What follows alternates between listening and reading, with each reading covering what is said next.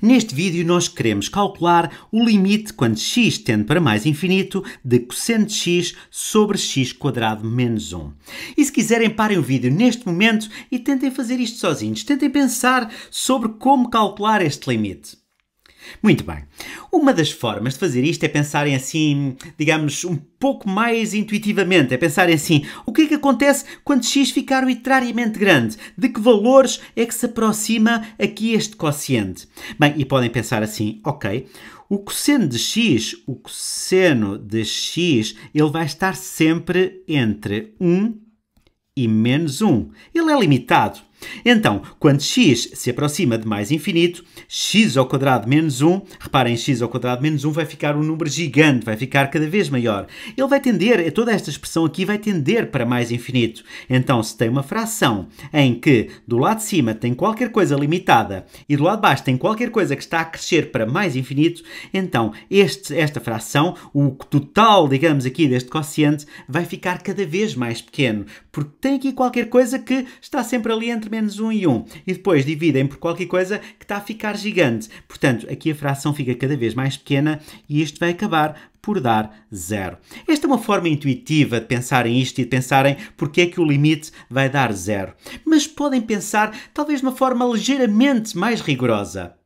Então podem pensar assim: ok, o cosseno de x, o cosseno de x vai estar entre 1 e menos 1. Muito bem. O cosseno de x está entre 1 e menos 1. Mas agora nós queremos pensar nesta expressão. Então podemos pensar o que é que acontece se nós dividirmos todos estes membros por x quadrado menos 1. Aqui temos de ter cuidado, porque para alguns valores de x, x quadrado menos 1 vai ser negativo. Mas não faz mal. Porquê? Porque nós estamos a pensar o que é que acontece quando x tende para mais infinito. Nós estamos preocupados com o que é que acontece quando x é arbitrariamente grande. E quando o x for muito grande, toda esta expressão aqui vai ser positiva, porque x ao quadrado vai ser maior do que 1. Então podemos pensar assim, ok, para x grande, x quadrado menos 1 vai ser positivo e nós podemos dividir todos os membros aqui desta desigualdade sem inverter os sinais. Portanto, quando nós dividimos ambos os membros de uma desigualdade, nós temos de ter cuidado para ver se essa quantidade que nós estamos a dividir é positiva ou negativa. Se for positiva, o sinal mantém-se, se for negativa, o sinal inverte. Mas, de facto, para x grande, nós podemos dividir por x quadrado todos os membros desta desigualdade. E a desigualdade mantém-se. Fica aqui com x quadrado menos 1. E agora, isto é válido, vamos só escrever aqui, para x grande.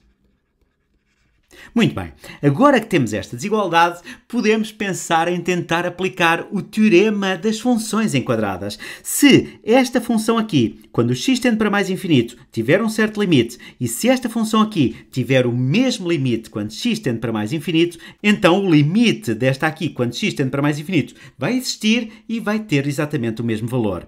E nós, de facto, podemos olhar aqui para esta expressão e pensar assim, ok, quando o x for arbitrariamente grande, quando tender para mais infinito, todo este denominador tende para mais infinito, aqui em cima está uma constante, portanto uma constante a dividir por qualquer coisa que tende para mais infinito vai tender para zero. E aqui acontece exatamente a mesma coisa. Então nós podemos argumentar assim, como o limite quando x tende para mais infinito de menos 1 sobre x quadrado menos 1 é igual a zero, porque cá está, a parte de baixo tende para mais infinito e a parte de cima mantém-se constante, portanto, todo este quociente tende para zero, agora é mais claro. Uh, e o limite, quando x tende para mais infinito de 1 sobre x quadrado menos 1 também é igual a zero, então podemos concluir pelo teorema das funções enquadradas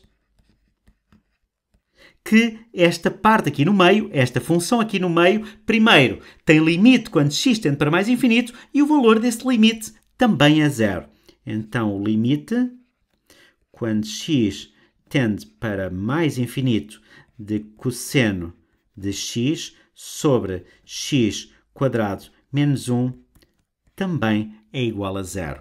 É uma forma diferente, talvez um pouco mais rigorosa, de provar que este limite aqui vale zero. Utilizamos o teorema das funções enquadradas.